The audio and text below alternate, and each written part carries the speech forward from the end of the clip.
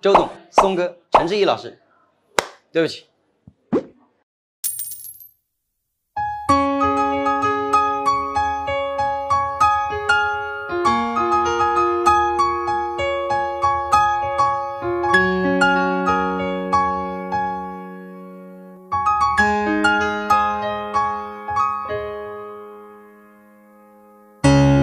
当时的喝啤酒空罐散落地上，报废的回忆在路旁有了锈斑，有某种所谓在这小镇弥漫。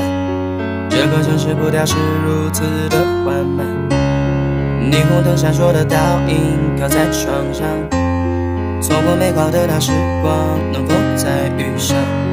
老旧的车站，空旷的车厢，怀念从前的人来人往。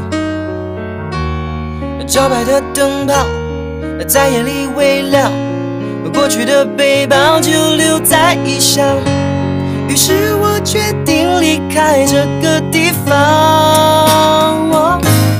路透月光，你手洒在心上，还在流浪。月下的那年的月饼都放在心上，随身的照片